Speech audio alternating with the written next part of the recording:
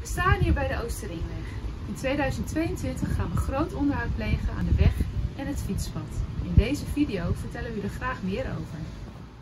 Het asfalt van de weg en het fietspad voldoet niet meer, wordt vervangen.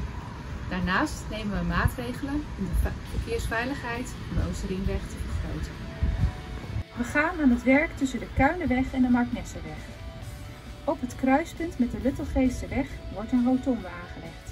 Ook de Nieuwlandseweg wordt op deze rotonde aangesloten, zodat in de toekomst het vrachtverkeer van en naar het kassencomplex niet meer via het kruispunt met de Kalenbergerweg hoeft te rijden. Daarnaast wordt op het kruispunt met de Baarlozeweg en de entree naar de Orchideehoeve een zogenaamd linksafvak aangelegd.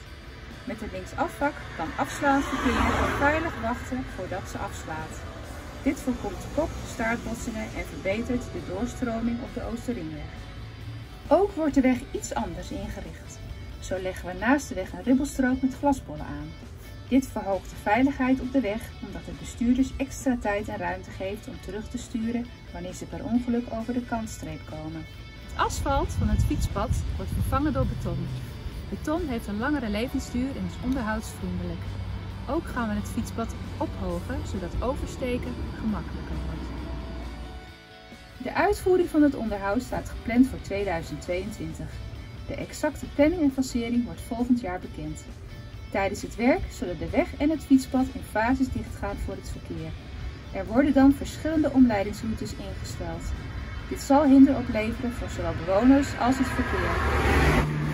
Voor meer informatie gaat u naar www.flevolwegen.nl. Hier vindt u onder andere het voorlopig ontwerp en de mogelijkheid om vragen te stellen. Ook kunt u zich hier aanmelden voor de gratis sms-dienst waarmee u op de hoogte blijft van werkzaamheden en calamiteiten op de door u geselecteerde provinciale wegen.